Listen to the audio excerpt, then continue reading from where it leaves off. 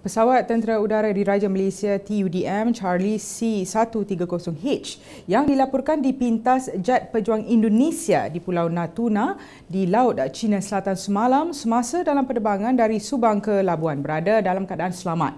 Panglima TUDM General Tan Sri Roslan Saad ada berkata laporan penuh mengenai perkara itu akan dimaklumkan kepada pihak pengurusan tertinggi sebelum sebarang kenyataan rasmi dikeluarkan. We, we will fly as normal we fly as normal and uh, tak ada apa-apa uh, kita orang tu risiko.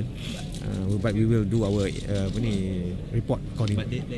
Beliau berkata demikian selepas menyempurnakan Majlis Anugerah Khidmat Cemerlang peringkat TUDM di Auditorium Wisma Pertahanan hari ini. Seramai 1,185 orang pegawai dan anggota menerima anugerah tersebut di peringkat Markas Angkatan Tentera Malaysia, Markas Tentera Udara dan Pemerintahan Operasi Udara.